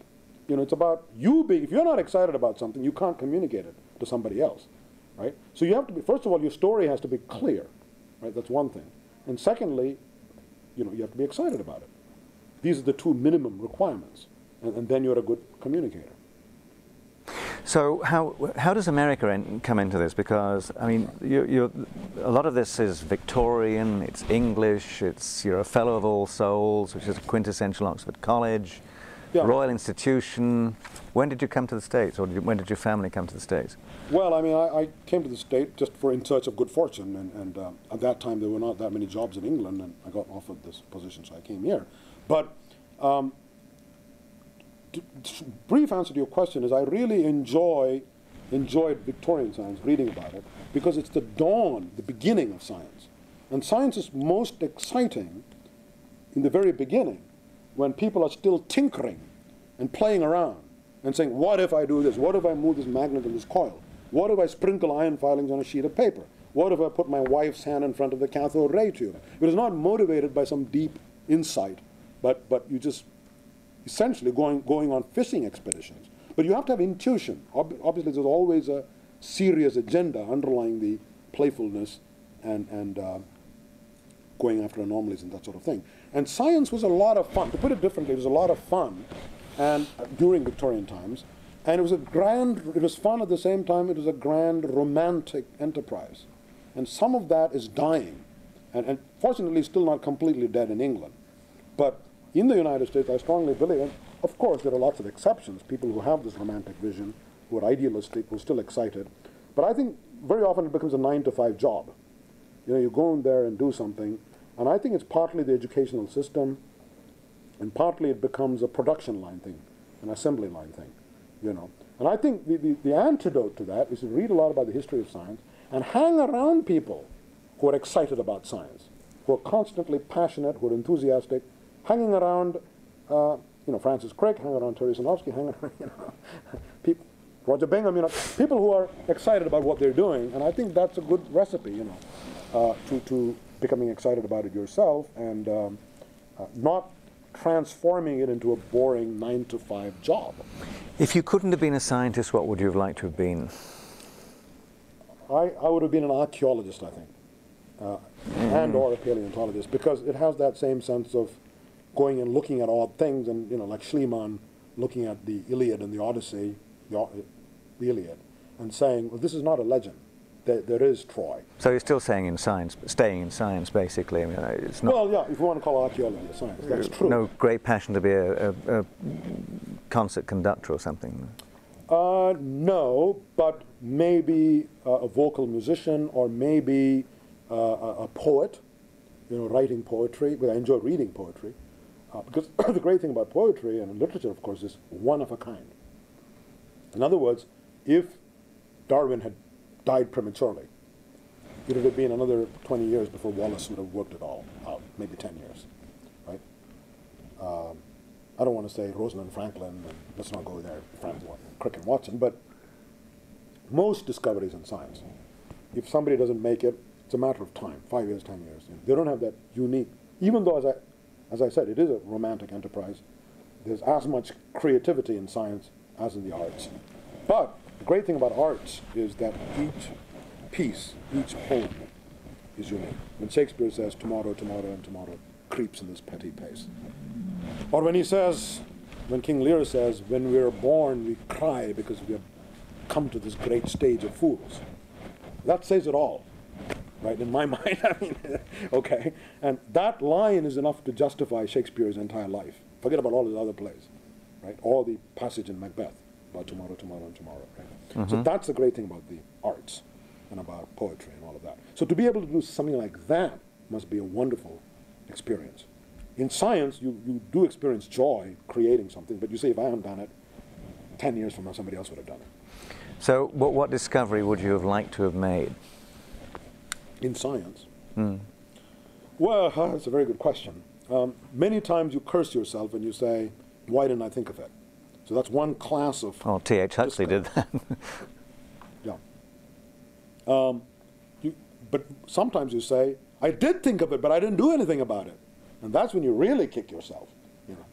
When I was in, in Cambridge, and I was mainly doing physiology and medicine, things like that, and I said, I read somewhere, and this is common knowledge among students, medical students, if an asthmatic person smells a rose, of course he starts wheezing, the pollen gets in, he may die, right? Now here's the interesting observation. If an asthmatic sees a plastic rose, he can immediately, his lungs go into spasm. You know, the mast cells release histamine and serotonin, histamine, all of that. Histamine, I think. And, you, and, you, and the uh, bronchioles go into spasm, you get an asthmatic. And people said it's conditioning. Okay? Remember, this is long before immune conditioning was discovered. Hmm.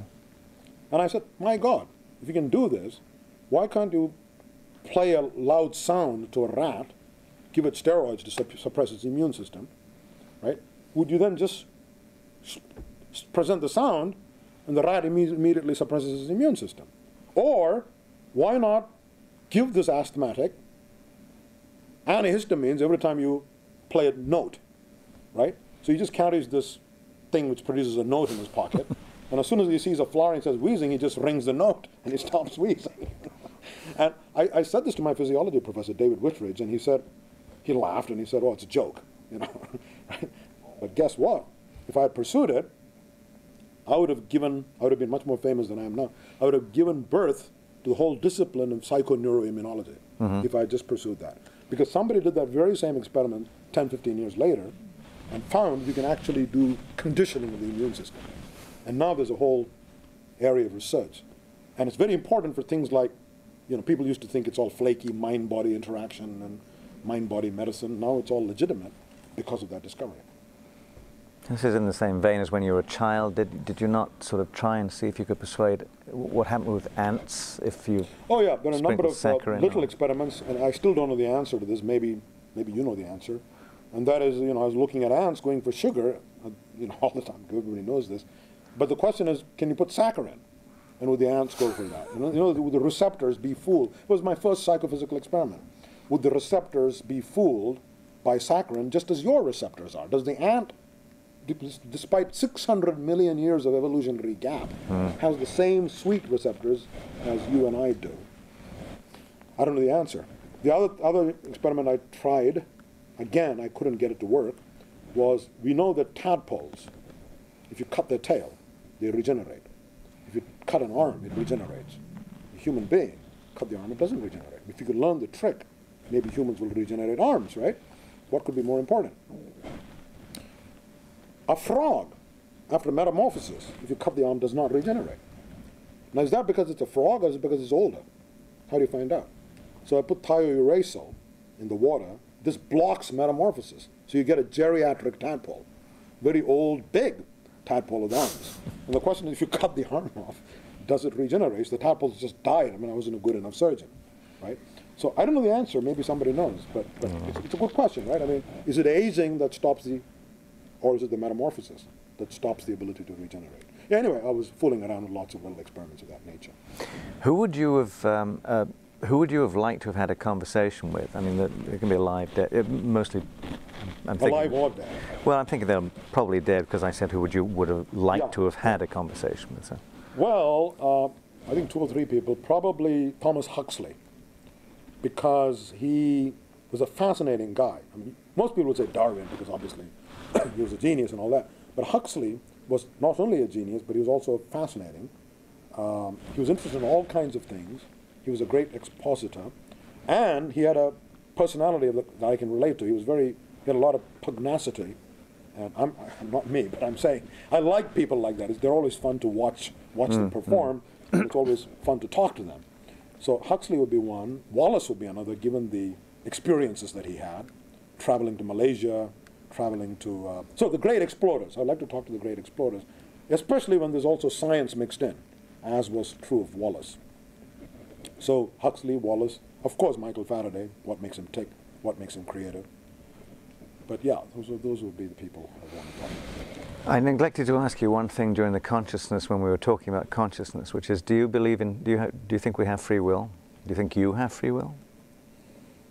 Well, you know, it's funny you should ask that. I, I think you, well, you should ask Pat Churchland, who you're going to be talking to soon. Um, the answer is that okay. The, the, the question is there is there is determinism. You know, how do you know? Okay, I saw that and I did that. Okay, I'm not supposed to do that, but I saw that and I did that. Right now, I have this distinct sense of picking it up. And if you give me two, an apple and a banana, okay, I'll do that. And I knew I did it.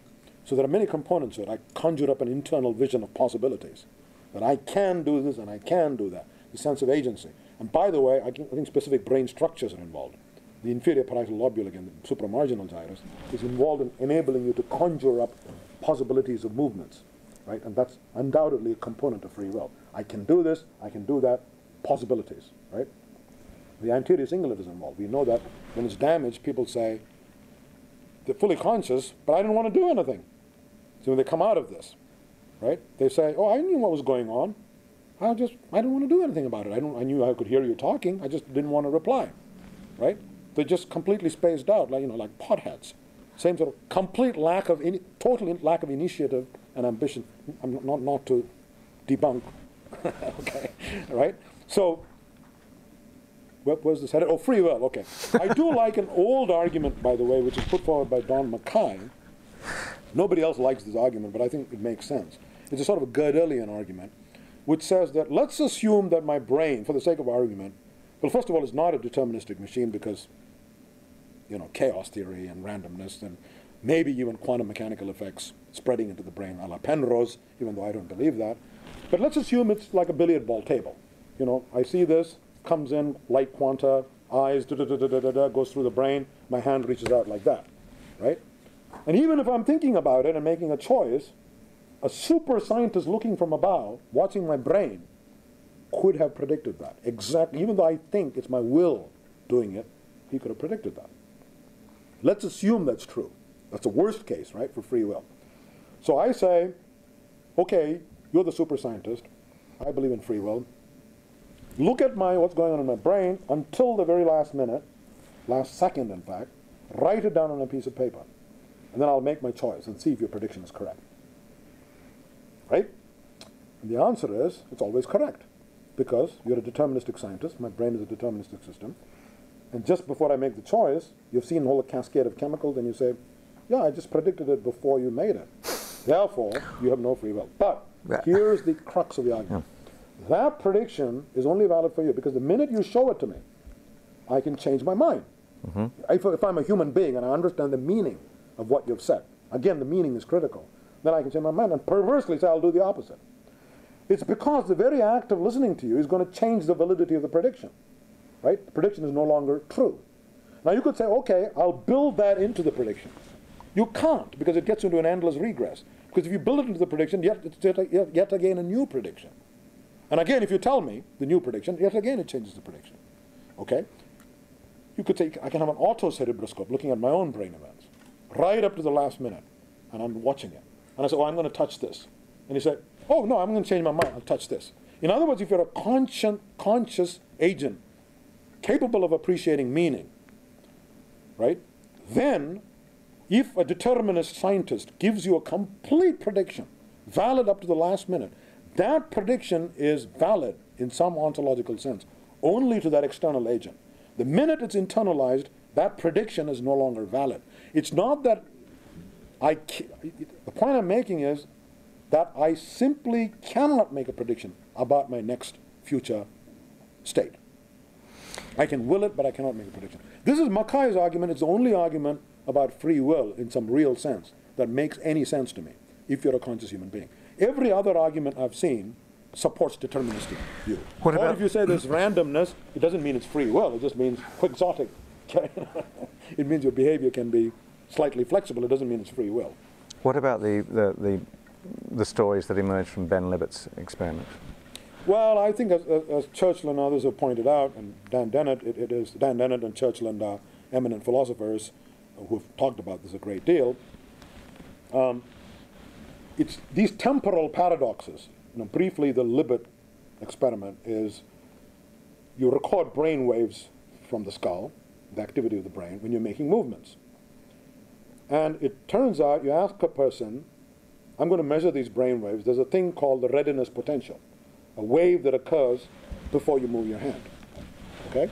So you ask this chap, in the next five minutes, I'm simplifying the experiment, but tell him the next five minutes, move your hand anytime you want, a couple of times. And the chap just waits, and after 10 seconds or 30 seconds or one minute, he moves his hand. The astonishing thing is, you pick up the readiness potential almost half a second or more prior to his moving his hand, right? Prior to his internal sensation of having initiated the command. You know that because you can have a rapidly moving dial on the clock and you ask him when he initiated the command. And he says yes or whatever, and he, says, he remembers the time when he initiated the command. And you find that your brain activity has been recorded 30 seconds earlier. So if his will came in 30 seconds later, how can the will, quote unquote, have been responsible for the hand movement? It must be an illusion because it's a post hoc delusion or rationalization because the brain event was picked up prior to your sensation of will. It's not time locked, right? But these temporal paradoxes of will can occur for all sorts of reasons. It's not any more mysterious. It's because the event timing of events of the brain and what you pick up versus your motor command, there's no reason they should be precisely time locked. There's a smearing of space time when you move an event. There's no reason that the subjective sensation should precisely coincide with your internal sensation. So that's where I think there is a, a flaw in his logic. But it raises an interesting question, and we have tried to set this up, and we may indeed set it up with, um, in collaboration with, uh, with, uh, uh, with people at the Salk, uh, blocking his name. Um, so what, what we're going to do is to take this readiness signal and in real time display it to the person. So you tell him, anytime you feel like it, wiggle your finger.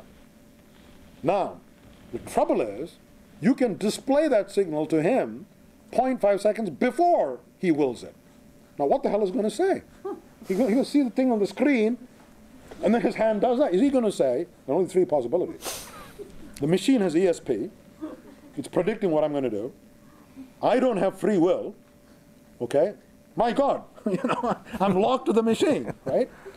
Or he's going to post-date the events. He's going to say, what do you mean it, it, it happened before? Uh-huh. It happened after I sent the will in. So all three possibilities can happen. It'd be very, very interesting empirically to see what happens. And it'd be wonderful if, wonderful if I convinced people that they don't have free will. Machine is controlling everything. You're just a puppet in a deterministic world. How would that affect your worldview? One last thing. Uh, how does this, um, all of this that we've talked about, map onto your, your background? I mean, you talked about the veil of Maya, the whole notion of illusion, come from a country that was Advaita Vedanta, the notion of. Um, well, a couple of things, given my background. I'll get to the mysticism bit in a minute. but just in terms of style of doing research, my training in medicine, I think, helps a lot. Because what happens, you may say medicine is completely unrelated to doing research on psychophysics or, well, it's related to neurology, obviously, but what I do is nothing like routine clinical neurology. So, how did I get here? And how is it useful? One answer is it's useful because you're forced to, especially when I was trained, my initial training was in India, you see patients, you don't, you, at that time you didn't have any imaging technology. In fact, you couldn't even get a blood panel very quickly, right? So you're forced to use clinical acumen, clinical ingenuity. And you really have to be like Sherlock Holmes. You have to just use a few signs to figure out what's going on in the, in the patient. And if you didn't do it quickly enough, he'd be dead or very sick? For example, my favorite example is appendicitis, right? And these days you diagnose it very quickly. But in the old days, a guy just comes with lower right quadrant, severe pain, vomiting, fever. Already you know maybe it's appendicitis, and if it is, you have to remove it. because if it bursts, spills its contents, you get peritonitis and you die. So you have to remove it. But how do you know he's got appendicitis? A number of things can produce that, those symptoms, right? You ask him, tell me about the pain. He says the pain started in the, in the umbilicus, in the belly button. And then, it, funny doctor, it moved to my lower right quadrant. That only happens with appendicitis. And the reason is in the embryo, the appendix was right here the, under the belly button, right? And then as you grow up and the intestines get thrown into folds, it gets pushed to the right lower side. And your brain doesn't know that. It still thinks that the appendix is sitting here under your belly button. So you mislocalize it there. And then when the appendix becomes completely inflamed, it ir irritates the abdominal wall, right? And then, of course, you correctly localize and you say it's here. But this migrating pain, mm-hmm. and then you do another thing. You just press him on the left side. You press him on the right side, of course, it's painful because you're compressing the appendix. But you press him on the left side, and it's ouch, and it hurts him on the right side. The reason it turns out, again, it's paradoxical, right? You're displacing the gas in the, in the colon, along the transverse colon, and then expanding this inflamed appendix, so, so it pains here. Now you see those two things, immediately schedule surgery. So this shows, without any equipment, if you know the right thing to do, you can diagnose very quickly. Now that's sitting in your brain that it's all about simplicity of experiments and knowing what to look for rather than high tech and um, deep insight and all of those things. That comes later. Okay, that's number one. Now going back to mysticism. So you asked about my background. Secondly, going to mysticism. All of Indian philosophy is all about consciousness. Is there a soul? Is there a what is mind? What is soul? Who are you? How did you come to be? They're obsessed with this. So were the Greeks, by the way, right? Now, you can't see a patient in neurology without confronting these very questions. What do you mean by self? How come this guy is saying, I'm dead? Disorder called Cotard syndrome, right? I'm not alive, I'm dead. He's not crazy because he'll play chess with you when everything else is fine. But he says, he says he's dead, and he's absolutely convinced he's dead. In fact, you can take a needle and say, Are you sure you're dead? He says, Yes. Do dead men bleed? He says, Of course not. No. Poke. He starts bleeding. Well, I guess dead men do bleed after all. okay? So that conviction stays in your brain. Why do, how did that happen? The self often is inconsistent. You say, This is my arm. No, sorry. I, sh I show you your arm. You got a right parietal lesion. Doctor, that's my mother's arm. If it's your mother's arm, how is, why, is it attached to you? He just stares at you. He won't answer that question. Or he'll confabulate. He'll say, I don't know. My arm is behind me somewhere. okay? He'll make up a story. Now, people think this is something very spooky and strange, denial, but in fact, it's very common, right? Maybe I've told you this before, but we do it all the time in our daily lives. For example, to give you a frivolous example, if you ask people what is their IQ, 98%, is it above average, below average? 98% of people say it's above average. In fact, they'll say it's well above average. Now, this is mathematically impossible because it's a Gaussian distribution. In fact, half the people are below average. Scary thought. half the people in this world are below average in intelligence, but they're in denial about it. Okay, they refuse to accept it. This is painfully evident in our recent presidential election, by the way. so denial happens all the time in our lives. So what I'm saying is, when you are raised in India, you're confronted with questions about the mind all the time, but all of it is quite mystical. And some of that must have spilled over into my thinking about neurology and consciousness and mind. My interest in it, my approach, of course, is completely empirical and scientific and hard nosed. But speaking of that, there is one question I think which is really metaphysics and not science and neurology. And that is the question of there is an objective world, the thousands of millions of people, right? But I have this sense that I am me and I'm special. I'm inspecting the world from this point. This little, tiny little flicker of light in the whole space time manifold. Einstein was puzzled by this. He said the notion of here, now, me is not there in physics. It just doesn't exist. Right? And that's a problem in metaphysics, and of course, it's intimately linked to the self sense of self, the idea about souls, things like that. No less a person than Kurt Gödel, the greatest, arguably the greatest logician of the century, was puzzled by this problem. He said, Who's me, who's here, who am I, and what is now? is not there in anywhere in the space-time manifold, this little spot. So that, you know, nothing to do with brain consciousness and all that, but Schrodinger wrote a book. Half the book deals with this problem. So I think there's something important there which most scientists, physicists don't know about and don't care about. What would your advice be to a young scientist? I'm just remembering Sir Peter Medawar's book. Yeah, well, I would say that a couple of things. I mean, there's no recipe, obviously. It depends on your personality? But several things. Uh, one thing is hang around people who are exciting and passionate about what they do, because it's very contagious.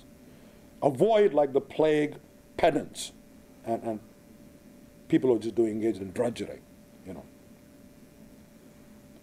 Hang around creative people, enthusiastic people, and because passion is contagious, as I said. Read a lot about the history of science. There's a misconception that people when they retire and are old fuddy-duddies and they start reading about history. Some truth to that. But I think young scientists, people who are getting into the field, you read history about how discoveries were made, it has two functions. One function is you emulate the style of those scientists you're reading about. And it's not surprising that most Nobel Prizes are won by people who are students. Disproportionate number of Nobel Prizes are won by students or grand students of Nobel laureates. Now, the cynical view of this is an old boy network. I don't buy that. Okay, I think that it's because you emulate the style of the, of the, of the people. So, hanging around people who are enthusiastic or quote unquote great scientists, or uh, reading about the discoveries and how they were made, serves the purpose of you emulate their style. A. B. Another reason for doing it is it makes science more fun because it puts your enterprise in a, in context. It's not me in a, trapped in this narrow cul-de-sac doing all these measurements, which you need to do, obviously. But you have to avoid the cul-de-sac phenomenon, which is very pernicious and very common in modern science.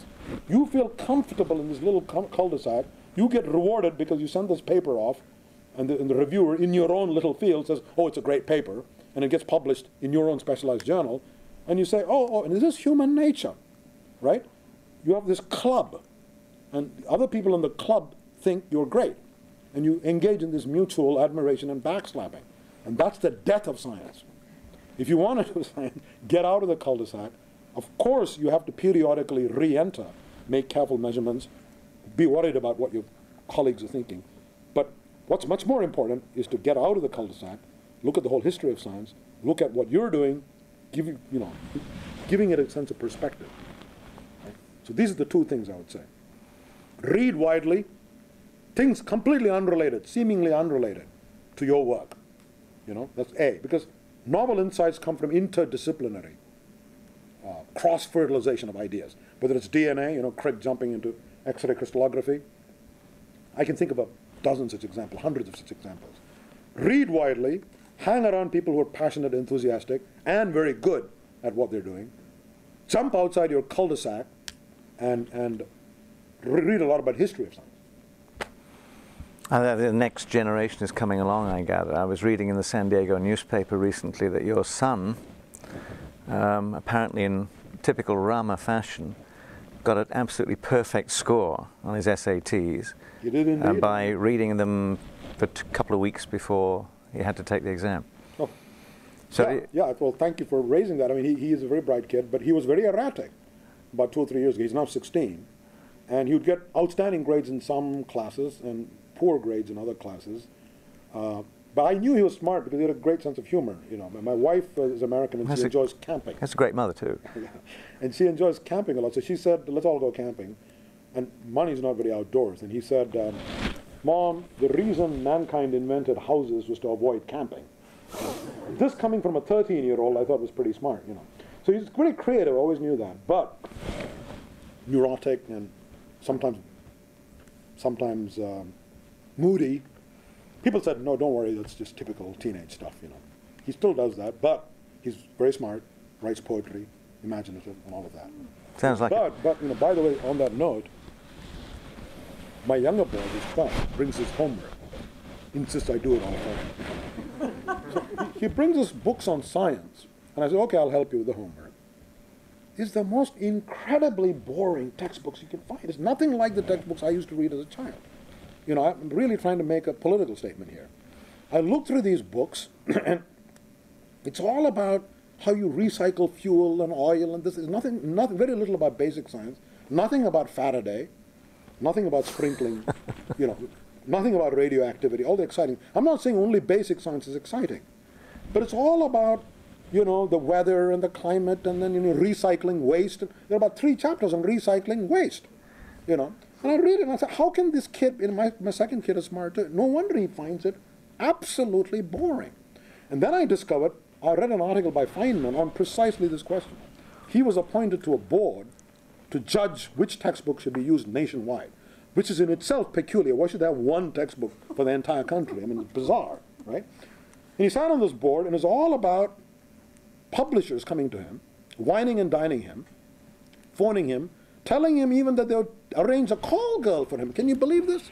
This is there in writing in his, in his book, right?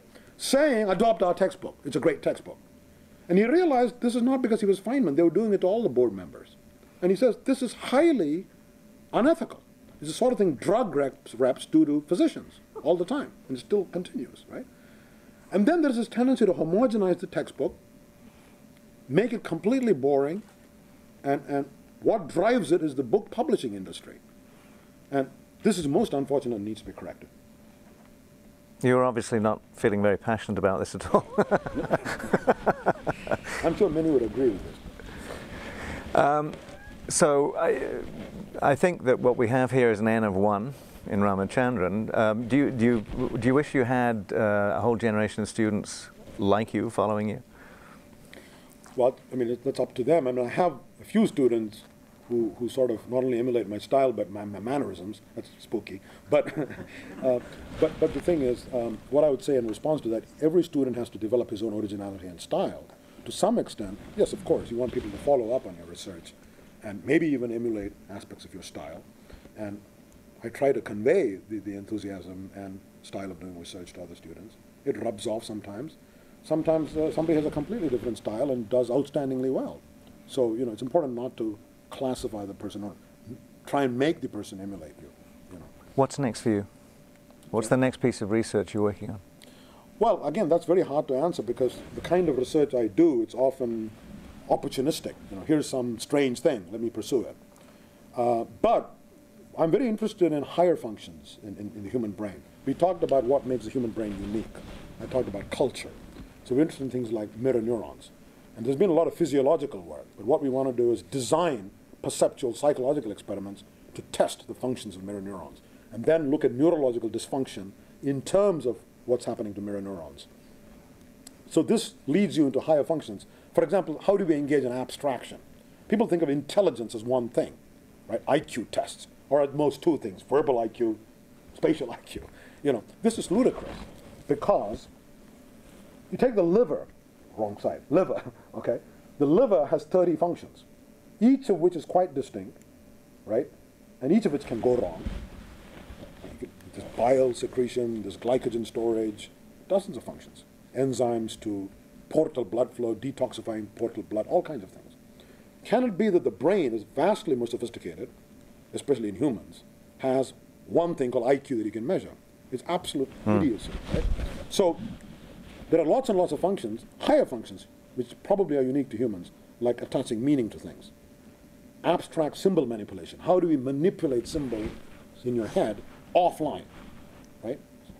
How do you do transitional logic? if A is bigger than B and B is bigger than C, A must be bigger than C. Is that because through hundreds of instances of induction, you have developed deductive logic? Because every time you saw A bigger than B, B bigger than C, A turned out to be bigger than C? Probably not, okay? Is there some other algorithm? And how is it instantiated in your brain? What parts of the brain are involved in this type of reasoning? So we're looking at Wernicke's aphasia, patients who don't have semantics of language.